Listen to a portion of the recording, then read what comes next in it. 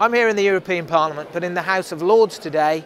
uh, they're debating the rights of young people at 16 to vote in local government elections. I've been a supporter of votes at 16 for very many years, since long before it was Labour Party policy, and I urge my parliamentary colleagues in the House of Lords today, take young people seriously, give them their respect, the respect they deserve, and give them votes at 16.